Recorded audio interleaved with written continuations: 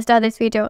Ishq Vishk Ribiro Rebound is all set to hit a theater on a June 21, 2024. And today, makers of the highly anticipated movie dropped all solo posters of the star cast.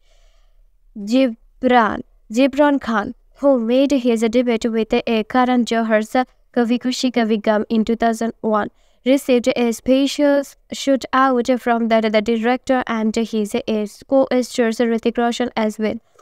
Talking to Instagram stories, Karan Johar shares that the poster of a Jibraan Khan from his upcoming movie Ishq Vishk Rebound and Ode. Congratulations Jibraan Khan from KG3 to Ishq Vishk. All my a blessing for this unwearing and unwear a Jibraan Khan played Shah Rukh Khan's and a Kajol son, Krish Raichand in a Karan Johar's cult classic Kabhie Gham. Thanks for watching.